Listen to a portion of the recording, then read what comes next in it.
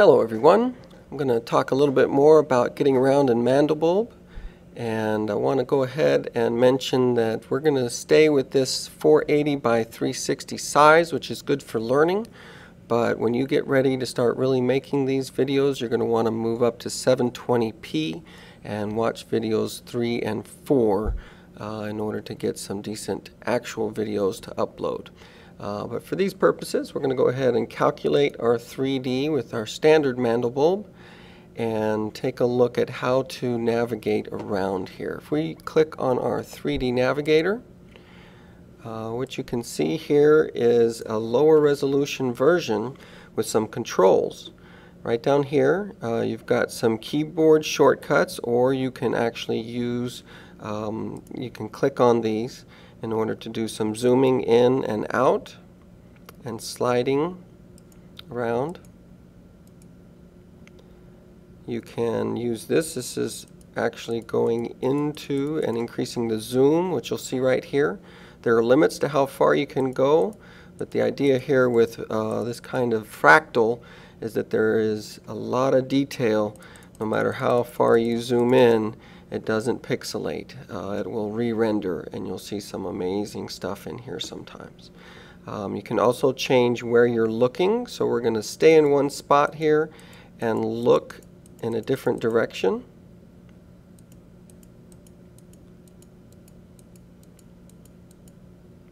And you can find some pretty interesting views. Again, if you look on the keyboard, you can hold it down. You can also click on the screen itself and you can move your mouse around in order to get to a, a dramatically different point without clicking a whole bunch of times. So what we're going to take a look at now is turning this into a high quality view, but it is slower. So unless you really need to see more detail, it's a lot better to just go with the high speed version here. So I'm going to go ahead and use my keyboard here and kind of fly around. You can easily use your mouse click on the screen to reposition. And what you'll notice is that things start to disappear. Uh, it is not always very predictable as to what's going to happen next. So this is how you get around with the 3D Navigator.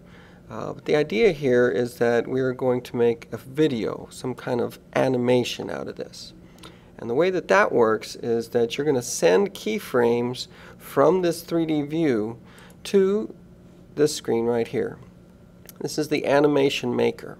And what we've just done is created our first keyframe uh, for the beginning of our video. So it's actually going to start right here and then we would navigate to a new location. For example, I could zoom out and then send another keyframe and our 3D Navigator now has switched over to the animation maker where we've got two keyframes and it's going to do 50 frames in between these two. So if you want to see what that animation is going to be like, there's a handy dandy preview mode right over here. And it'll take from any frame that you tell it to start on and go to any frame you want it to end on. And it can be downscaled. You'll notice that if I say downscale this, the amount of time needed goes down. If I say I don't want any downscaling, actually show it to me at the original resolution, this would take 46 seconds to preview. If I get that started, you're going to see the animation preview start and it will do the calculations for 50 frames in between the two keyframes that we've specified. So that's going to take a little while to do. If you exit prematurely, it will show you what it's got so far. And I'm going to go ahead and do some downscaling so that this only takes four seconds to render out the 50 frames for a preview of what our video would look like. So this is really handy for checking to make sure that it's doing what you expected it to do. I'm going to go ahead and exit and add a few more keyframes by going back over here. So we just did a little backing up. Now we're going to, uh, let's say, look at a different part and zoom back in a little bit. If we send another keyframe, Now we have three keyframes and you want to be very careful with this scrolling back because it's easy to forget to go back to the end so that the keyframes continue and you'll wipe out the keyframe that this is on at the time. So make sure that you go back to here when you get ready to continue. I'm going to go ahead and do a render preview and you'll see how we came out. And then it's trying to get over to the new place and zoom in at the same time. You can see that a little more smoothly. Okay, now you can save this as a GIF and you want to make sure you're not saving stuff into the mandelbulb. Make sure you've got a spot over here with a folder made up where you're saving your experiments. If not, then this is the time to go ahead and create that folder.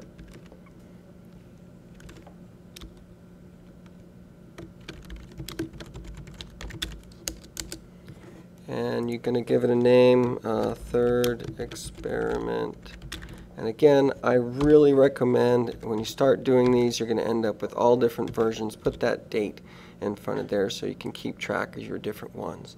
And it'll save a nice little version there. If we actually want to go and look at it, it's something that would be in that folder we just created. And if you double click on it, it'll open in a browser because that's uh, the best way to view these sorts of animations. So this is something that can be uploaded to the web, used as an avatar, um, but it is a very low resolution kind of way of seeing your video.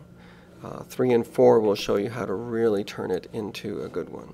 So I'm going to go ahead and close Mandelbulb up and show you a good way of uh, just getting a good little video out of it. So I'm going to go back to my Mandelbulb folder and run it again. I'm sure there's some way to reset it, but sometimes this is the quickest. So I'm going to go ahead and calculate this in 3D, bring up my lighting tab and just change it to one of the others. Maybe this really brightly colored one. And of course you can also play with the formulas and maybe change this a little bit just to give it a slightly different look. I'm going to calculate that 3D again.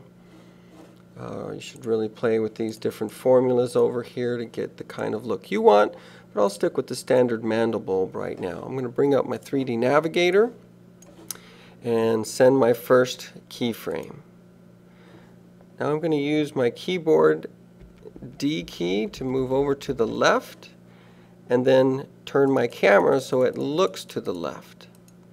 Now when you do that you do end up with some turning. So I'm going to use this rolling right here to try and keep it upright so it looks like it's just rotating in space. So I'm going to send that keyframe and then do it again. I'm going to move over to the right, look to the left, and maybe zoom back in a little bit. It tends to move around as you're doing this, but let's take a look at what that did. So I'm going to send my third keyframe I've got again one, two, three. Be very careful as you do this that you go back. And let's render a preview with only two downscaling so it happens fairly quickly and it'll start to look like this is turning in space.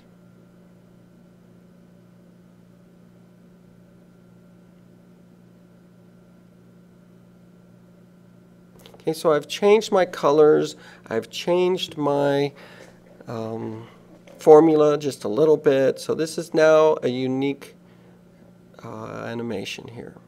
So there are a couple of ways of saving what you've done, and that's really what this lesson is about, because once you start doing this, you want to make sure that you're keeping the stuff that you're making so you can keep going on it, you can reproduce it.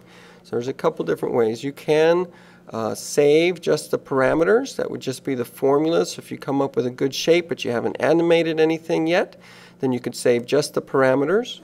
And you can see that it goes to the M3 parameter folder here where some have already been made that you can check out. But again, I really want you to be saving in your own spot. So 141010, we'll call this fourth experiment. And that would be just the formula.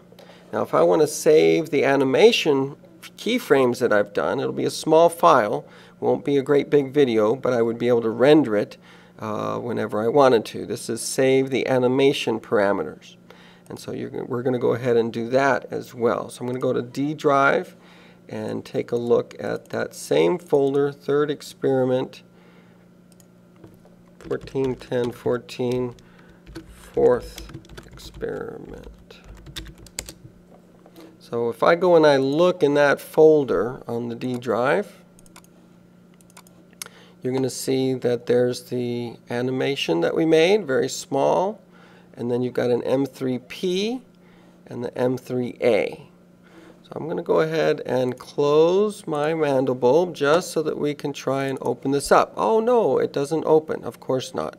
It is not installed in Windows. You cannot just open the files that way. I get this question a lot. So you must run Mandelbulb. I recommend that you unzip your own copy over there so that yours doesn't get mixed up with anybody else's. And we can open the parameters from our folder. And it only shows the M3P. And then we can calculate it and you can see it's the different color with the slightly different formula. But there are no animation keyframes. Once you start making keyframes, you're going to want to open from this from this window, open, go to the, your folder, and you'll see that the M3A, when it opens up, it has all your keyframes. So the idea here is that you find a good formula, make your color combinations, create this long string of keyframes that's going to take a long time to render in high definition, and then you leave the computer running overnight. If it's a super long one, you're going to do it over the weekend. Uh, we can have several computers working on the same animation by splitting up the first few hundred on one machine, open the same animation parameters on another machine, and you can have multiple computers working on your mini movie. So let's go ahead and open up our 3D Navigator and insert the parameters. Let's see, how does this work? If we've got this right here, we can insert this view to the main program and calculate it. Then we can go to our 3D Navigator and insert the parameters from the main and now we're back at that last position. So I can continue keyframing my animation through those two steps. You might want to watch that again. Let's go ahead and go up this time and look down. Send a keyframe. Go further up, look down, and this time we're going to zoom down into the heart of the mandelbulb send that keyframe. Zoom in some more and you'll see we start to get some weird color stuff. Again, this is not the view that it's actually going to look like at the end. So I'm going to send one more animation keyframe and send my view to the main program for 3D rendering. And I'm going to say calculate that 3D for me, add all your shadows, and you can see that this particular formula with this color combination, it starts to look a little fuzzy.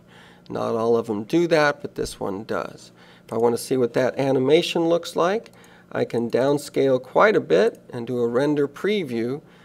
And I won't be able to see the detail, but I'll be able to see me flying down into the heart of the mandelbulb there.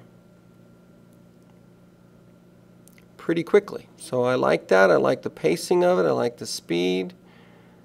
And I think what I'm going to do is back up just a little bit for this keyframe and see what that looks like. So I'm going to go back to my 3D Navigator and this time I'm going to zoom out just a little and send another keyframe. So if I want to see what that looks like, I can bring up my animation. I can say, okay, I just want to render from 4 to 6. So I'm going to say 4. I don't want to do any downscaling, well maybe a little, and let's render a larger preview of that last little bit of the flight where I go into the heart of the mandelbulb and then bounce back. I have less distance that I'm coming out.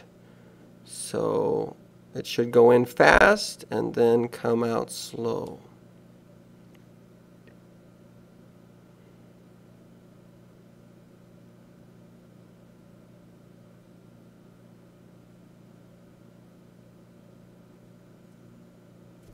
So that looks pretty nifty. I'm going to go ahead and exit, make sure I'm on the very last one here, and see if I can back out of this with the 3D Navigator. So I'm going to zoom out and uh, try and keep going around this way a little bit. I'm going to try and keep it straight up and down and send an animation keyframe. And now I, I, would just like this to loop back to the beginning. So I'm going to go back over here. I'm going to say, please loop the animation. So it's going to take 50 frames and try and get back to the very first frame. And we're going to see if it flies through it or if it looks pretty good. So I'm just going to render my 6 on out. I'm going to do a very uh, quick render and just see what happens here. So it does. It does a really good job of getting back to the first one. So it will loop over and over. So I can go back and say, okay, render the whole thing and show me what the whole animation looks like. So I'm starting from the first keyframe so I get to see all of the zooming in.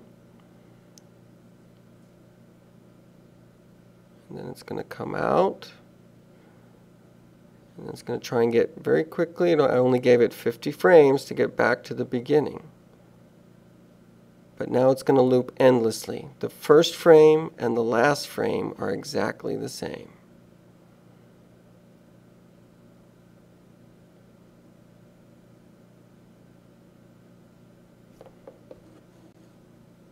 So let's save that GIF right there. Go over here to digital graphics, third experiment. And yes, I do have another one that I'm going to make. A lot of times I'll just put letters there. So I may end up with a B and a C and a D. Although in this case, this is really our fourth experiment. So I've got a little animation that it's going to save, very small one. If I want to get a bigger one, then I would have to exit say don't downscale and spend 4 minutes and 40 seconds. But I definitely want to save the animation parameters into that folder that I made right here. So I might say, well, that's my B version. I've added some more keyframes, so it's I can tell which one was the most recent. And that is saving keyframes and Parameters can be saved individually, but I really didn't do that much to the actual Mandelbulb. It's more the animation keyframes that are really important. Now, one last thing, you can go back and you can say, I want you to make this a lot slower. And you can say, give it more time, more frames, four seconds to go in between each one would be quite a bit of time. We normally render this at 30 frames per second. So uh, we can do this and you're going to see quite a very different kind of animation when we're done. Another thing I'll do is if it has a lot of distance between this last one and what the first one was, I may do quite a bit uh, extra, like give it five seconds to get back where it needs to. And so if you do one and it's really quick and then you're like, okay, I'm going to make this a high-res real render, going back and just giving it more time in between to get a longer video. This at 30 frames per second is going to be maybe 12 to 15 seconds long. Um, but before you start outputting, make sure you watch steps three and four because you need to change these. Uh, you definitely want to change the folder where those are going to go and have it able to import those into Premiere.